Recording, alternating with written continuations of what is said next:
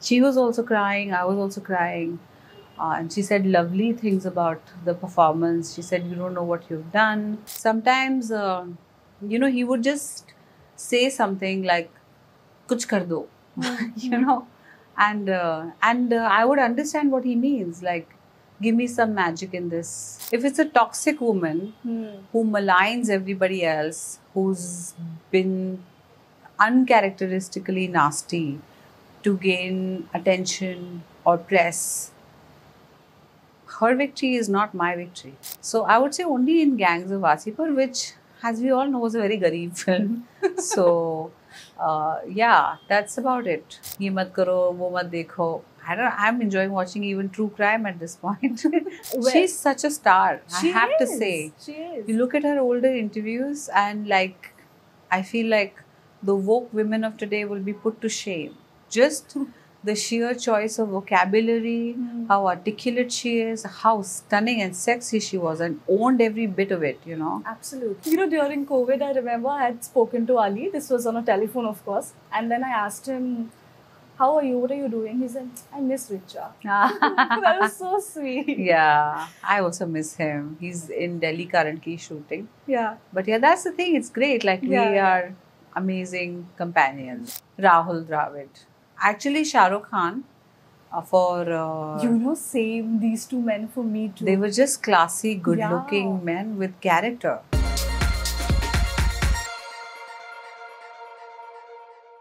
Hi, Richa. Welcome to News 18. Thank you. Thank you for having me again. Absolutely. It's always a pleasure chatting with you. Thank you. How are you? Tell me. I'm good. Thanks for taking care of me also with all the refreshments. no, no, no. Absolutely. It's our pleasure. But, um, okay, so Heeramandi has released. Yes. Well, the reviews have come in. You know, the Yeah. audiences have you know begun sharing their thoughts on social media. Tell me, what has the feedback been like from your fraternity? Has anyone reached out to you? How has it been? I've just got really phenomenal feedback from the fraternity, from the audience at large, and Mhm. I was a little apprehensive in the beginning because I thought that, you know, um, as always, like, you know, there might be questions about the length of the role or the choice to do particularly this part as opposed to something else. So I was a bit ap- apprehensive, but uh, it's really like, I think it's touched a chord somewhere, this Hmm. part. Yeah. So I'm very uh, flattered and very excited. And uh, I think it's going to be one for the ages. That's what I'm reading. Like, I read some very beautiful reviews and I got some lovely calls and messages. So, you know, you can tell no when someone is really effusively expressing because Hmm. they experienced a very strong emotion. That's what, uh, I, I mean, that's the feedback I'm getting. Lovely. Has Has Ali watched it yet? Ali, yeah, yeah, he was with me in the screening, sitting next to me. What did he say?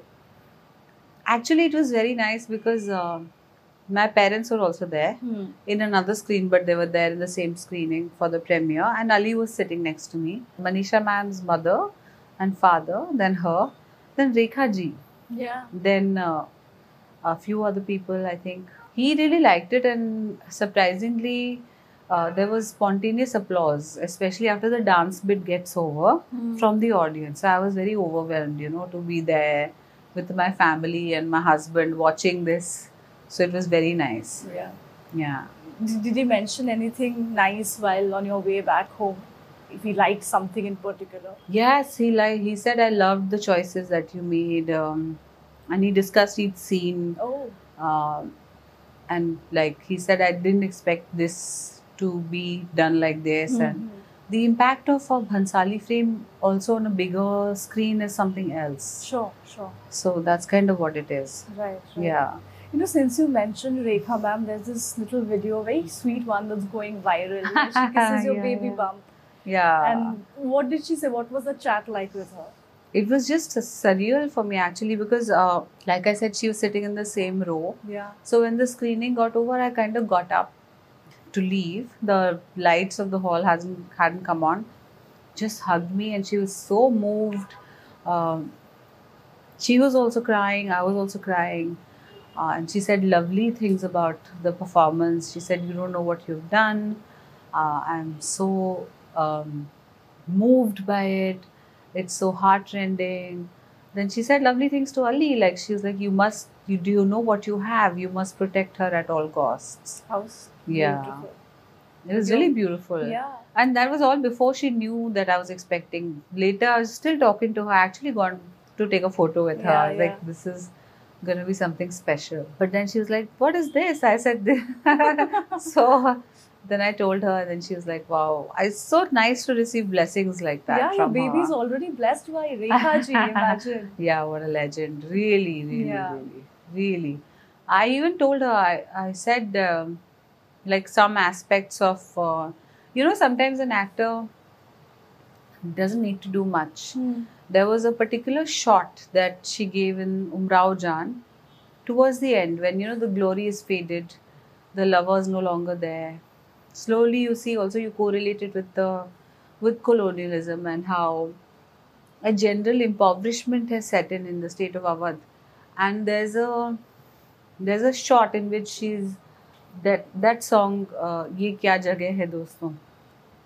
There's a scene in there that she goes and she looks out and she says something so beautiful and evocative. Uh, the the lyric and it's all mid, like you know, people have been giving me praise about mid uh, choreography, having a breakdown. Yeah. But my inspiration was that particular shot Wow. where she is like uh, looking out and she sees her, um, I don't know what to call it in English, sotan across the Yeah.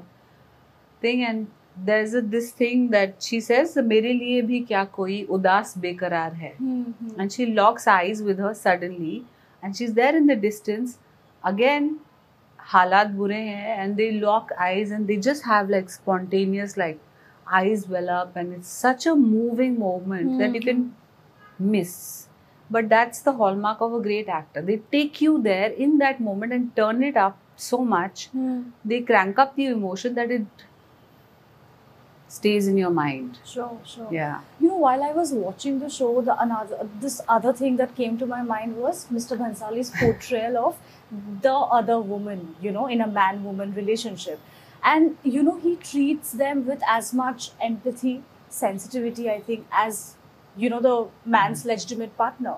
Which I think is, you know, and we saw that, you know, in Heeramandi as Yeah. well. I think that's just his gaze on women. Hmm. Whether and i always say no one does unrequited love as well as mr Bhansali. So whether it's like kashi from Hmm, Bajirao Mastani she's also hopelessly in love. Her eyes are always brimming. But there's a lot of um, there's a lot of empathy in that gaze Hmm. you know?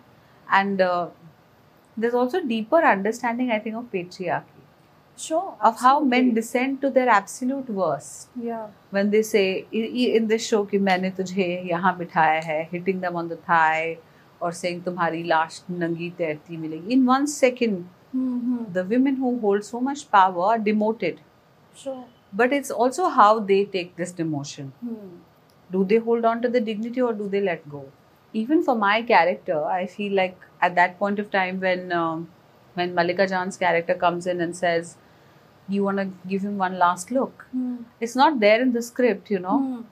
but that laughter emanated from a very deep place like who are you to judge me Yeah. you know i'll tell you it was in uh, it was not a take for me it was like for the other two actors but he's used it it's That- made it to the a- final cut That's a very powerful scene, I think.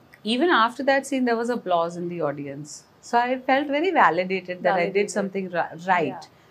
Because i was uh, offered another part in the same show when when he was just the showrunner like in 2021 second wave before second wave Hmm. before we went on floors essentially i don't know it had gray shades and things that I, that weren't very exciting for me as an actor to do Because you did it earlier. Is that I've done it, yeah. I've done it in Madam Chief Minister. Yeah. I've done it in Inside Edge. I've done it very iconically in Bholi Punjaban in that sort of. Mm-hmm. Not to say any character would be crass here, but there's nothing new for me. Sure. Here, the response I'm getting from the audience is like, oh my god, we didn't know you could do this. We didn't know you Mhm. could dance like this. We didn't know you could emote like this. Yeah. We didn't know you could be so vulnerable. So, those things, you know, it's like I wanted this character to come across like a Hmm. just like a raw wound that you look at it and you want to touch it and fix it, but you can't. Yeah, yeah. Yeah.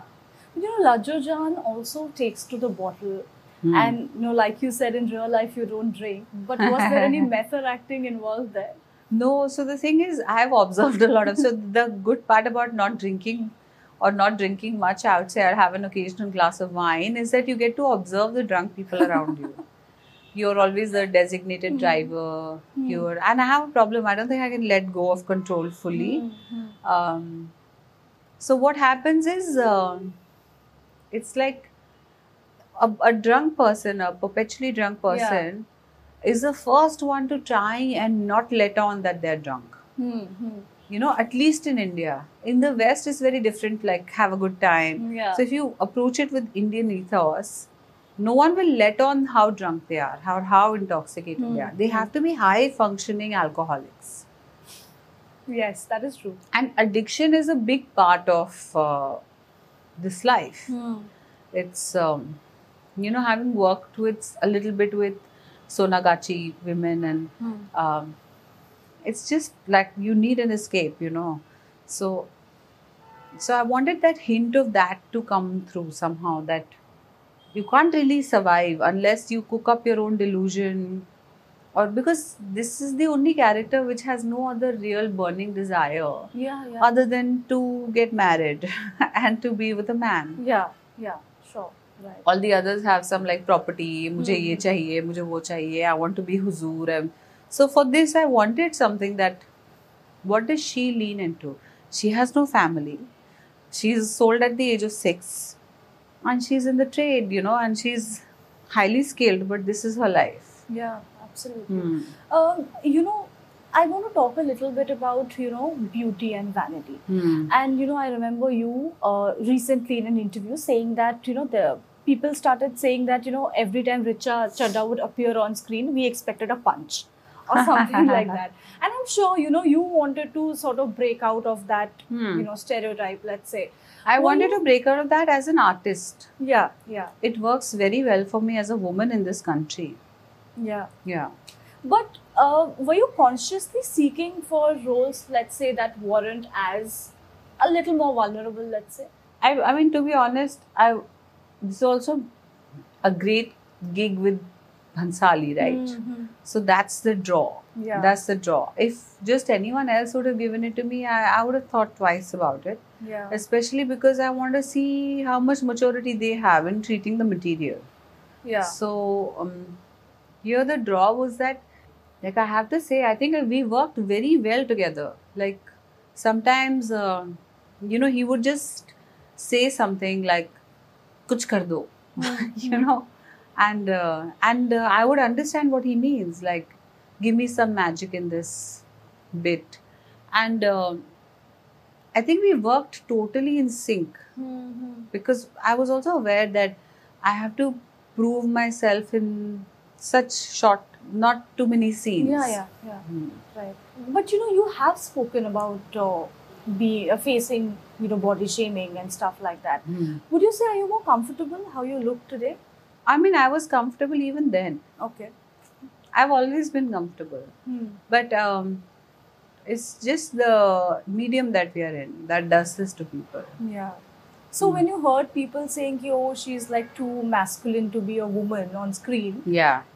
did that like make you angry even for a fleeting moment? No, because it's just how they perceive uh, a woman to be. Hmm. uh, it's um, according to me even bholi punjaban is uh, an extremely uh, uh, she's badass and she's but she's stylish in her own way she does her own hair in a particular way she has animal printed nails uh, she has a tattoo she has a blue streak in the first part like she's always groomed and sort of is she less um, the embodiment of femininity and grace in the conventional sense yes Hmm. but uh, she's also running her empire in the in a man's world Hmm. so it's it's mostly men who are not used to seeing empowered women who come and say these things Absolutely, that is true.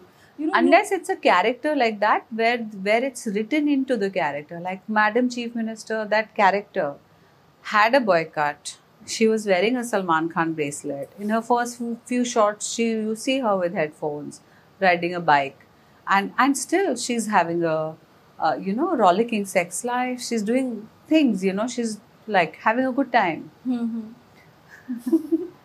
uh, you know, you you have often spoken about how you know, much like Bholi Punjaban in the initial years of your career, you did not have a stylist, let's say, or you know, you did not have anybody to actually guide you, even in terms of forget films, you know, in terms of how you look, how you present yourself on Hmm. screen or on the red carpet, for that matter. Uh, how Only the first year, I think. First year? Yeah. Okay. Only like gangs of Wasseypur. It took me a while to figure out how the game works. Hmm. Once I was in the Fukrey ecosystem, and honestly, working with Excel taught me a lot. I may not have had the best hair makeup team or whatever, I may still be learning all those Mhm. things. But I understood that okay, if you have a press event, you need to get a stylist and they need to source Hmm. clothes for you, they need to do this and that. So I would say only in Gangs of Wasseypur, which, as we all know, was a very garib film. so uh, yeah, that's about it. Not during Masaan. By that time, you sort By of. had- Masaan time, I again for the promotions, I don't think I had a hair and makeup person, but I did have a stylist and Yeah. a very good stylist who did a good job with me even at the time. But how long did it take for you to actually have all these A-list fashion designers, you know, giving you clothes? Did that take time? I think uh, like I think the industry by and large is very classist. Yeah. So what happens is if you emerge from a film like Oye Lucky Hmm. or from gangs, they first of all they assume you to be the character. It's only when you have a real conversation with you, Hmm. then they understand your pedigree. Hmm. And pedigree doesn't naturally and only have to come from Bandra, from a film Sure, family. Sure. And uh, I think I have tremendous cultural capital. My parents are academics. I think I can converse better than anyone else out there. So I'm saying these things are slow for people to sort of gauge about you. Hmm. So once that happens, they open their arms and they're like, "Oh my God, what an incredible talent, etc." But I think it just took me like a, maybe a couple of years. Yeah. It it and to say like the film industry is classist is one thing, but the fashion industry is also yes. very very classist. You know, so uh, they they they will either brand you to be like like an independent actress and then hence uh, but if you ask me like someone like Nandita Das who got uh, uh, invited to be on the jury of Cannes Hmm. several years ago Mhm. uh, and just held her own with really simple saris or even someone let's look at the other end of the spectrum like um, like Mallika Sherawat Yeah. okay there was a lot of crit- critique and ridicule for her at the time Hmm. but you look back at those pictures uh, from then like whatever it was maybe 15 years ago i don't know Yeah.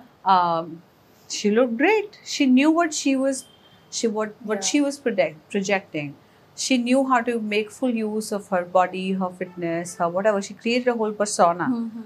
uh, so I think um, I honestly don't really bother with people Hmm. because you're not in vogue with them till you are. Sure. And I've seen this happen with uh, male actors like uh, Nawaz or Pankaj Tripathi, you know, who self-confessedly say we don't can't speak a ton of English, you know, Mhm.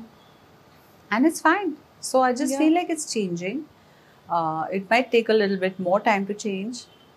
You want to have a real conversation about this? Like people should just hear interviews and see who is really like what. Mhm. And it shouldn't be that someone um who can't speak in English is looked down upon. Look down upon. Yeah. Yeah, sure. Uh, yesterday, you know, I saw this picture that Dia Mirza had posted of this whole girl gang. Uh, yeah. And, you know, she wrote something along the lines of, you know, we want everyone to win or something you know along those yeah. lines and the other thing is that your uh, this thing that you said in an interview which has gone viral ki jalte hai log aishwarya rai bachchan se of course yeah so you know now see this basically is all this this reflects sisterhood right and the importance of it mm. um, how important richard do you think is to root for women in general mm. so hmm. that it, it, it's the win of an entire race, right? When one woman wins. I'm not so sure. No. I disagree. No. Okay. If it's a toxic woman Hmm. who maligns everybody else, who's been uncharacteristically nasty to gain attention or press. Her victory is not my victory. Um, and we should celebrate everybody's growth and evolution. Does it always happen? No. I don't think that uh, I'm a subscriber to the fact that, oh, you know, uh, all women are saints. Because I've had some terrible experiences with female producers whose checks bounce and they pretend to be feminists on Twitter or toxic co actors who are co- constantly competing with you, not giving the right cues, cutting out your light in scenes. So I can't say that I've had a uniform, monolithic experience. I don't think even you can. Have you ever had an editor who's a woman, who's in a position of power, who's not, uh, who's just been like all roses? It doesn't happen. That is true. Yeah, so I just don't understand this imposition of uh, sisterhood on people. Yes, it's there, it's real. When you build it, when you craft it, when you nurture it, hmm. but it takes more than one person to understand and create that. Hmm. I think it's a anti-feminist notion to think that women are not capable of evil. Hmm. That's just a dumb thing. It's very dumb, actually. No, makes sense. Sure. Yeah, of course. Yeah. We have enough vile women around us. It's, it's not a Women gender who thing, defend basically, yeah. rapists are vile. Hmm. They're corrupt, they're horrible. But they're often in positions of power or they, they are given a platform by even by the media. So what is that? Like am I supposed to just uh, naturally assume they are feminists because they have a vagina? No. I know plenty of women who are downright patriarchal, misogynist, and plenty of men who are very feminist. Yeah, yeah. Exactly. It's not Yeah. a gender thing per se. No, it's not. Yeah, yeah. It's not. It's not. Um, you know, personal, personally, coming Hmm. to your personal life, I mean, there's a lot to look forward to. Uh, Tell me at this stage, like you said, the baby is already kicking. what, what is, what is that one thing you're most nervous about? nervous. I'm actually not nervous. You're pretty chill about this. yeah, don't you see? Like I'm working you every look day. chill. That's true. I'm chill and I want to be chill. I think it's we should take cues from nature. Nature is the best teacher. Nature is the biggest god there is. Mhm. Um, you see in the wild, like an animal, like a giraffe will just stand in the wild, deliver a baby.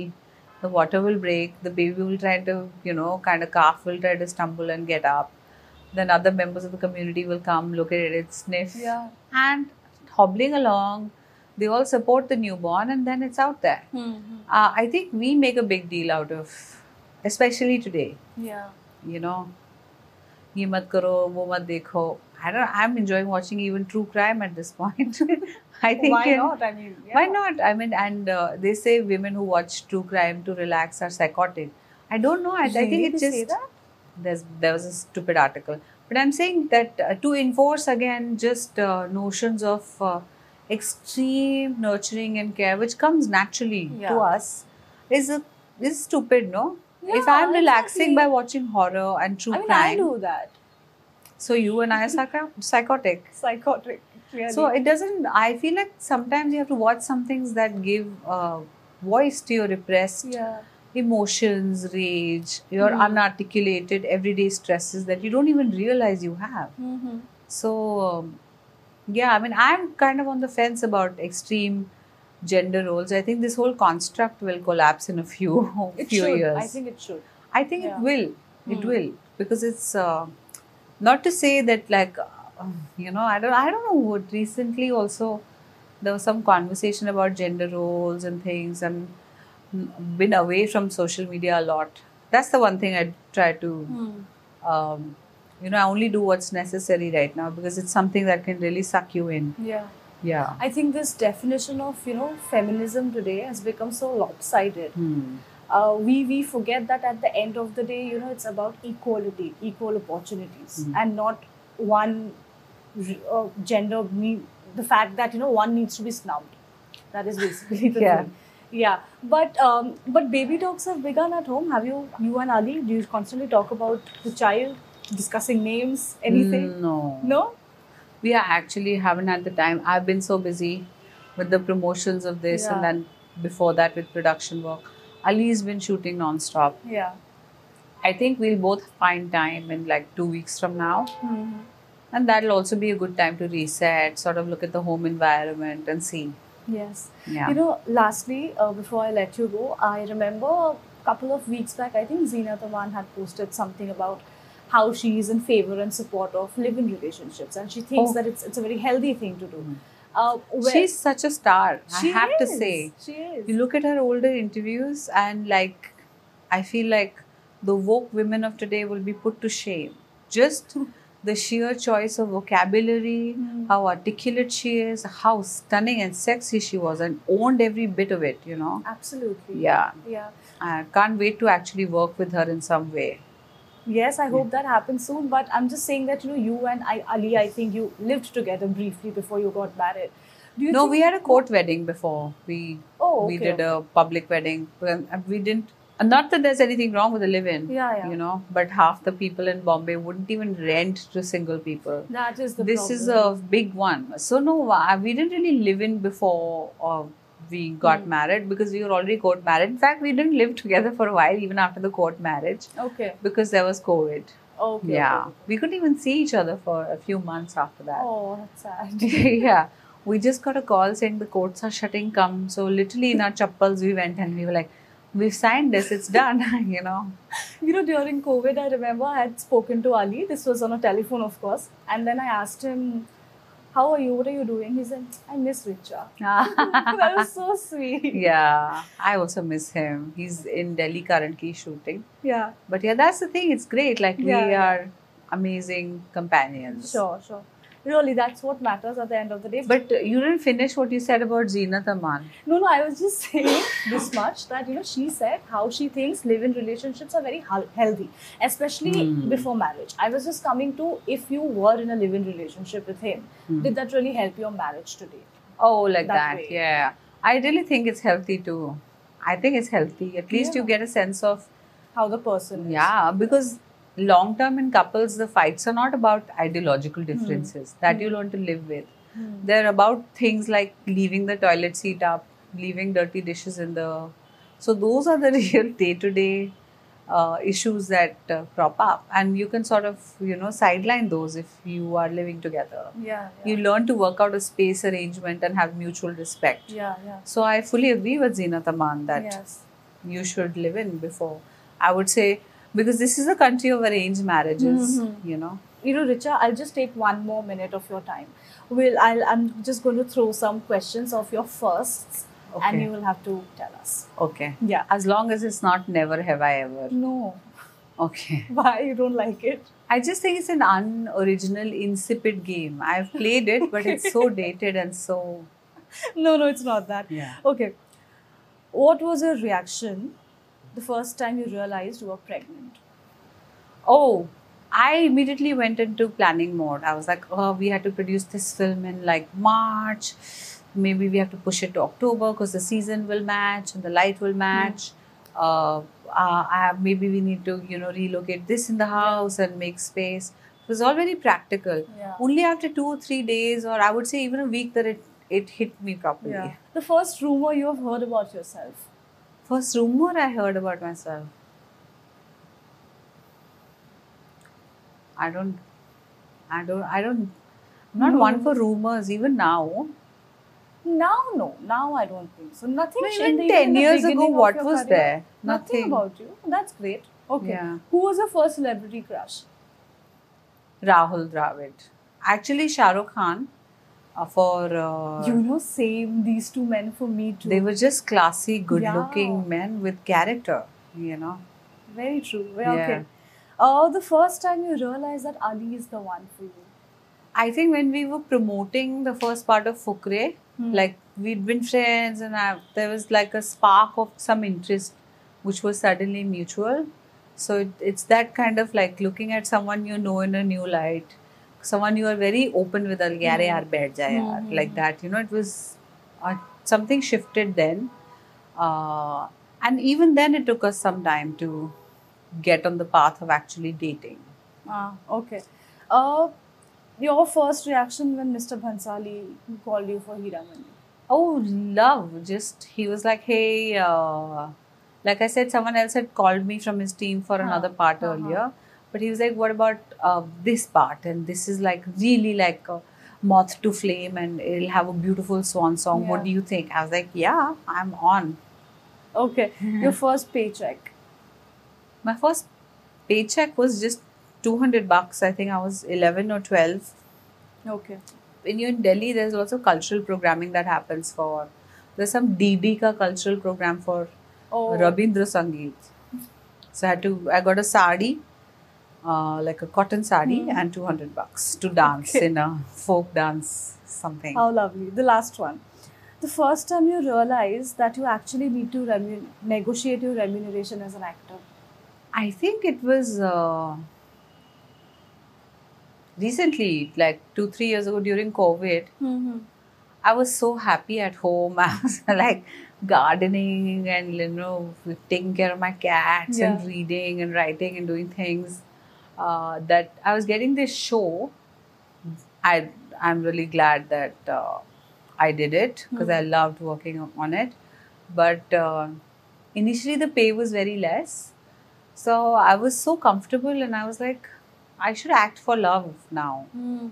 Uh, and that was a big uh, shift in me. So I was like, oh, you know, ask them for this much. And if they say no, then they say no, we know we've. And if they agree, I'll get tons of money. So Hmm. that's what happened. Oh, great. Yeah. They gave in.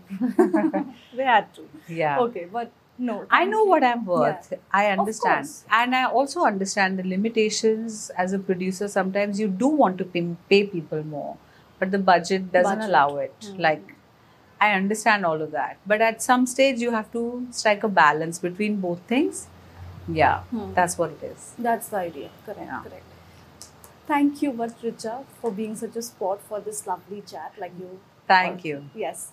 Uh, good luck to you. Thanks. Thanks so much. Hi, this is Richa Chadha, and you're watching me on News 18.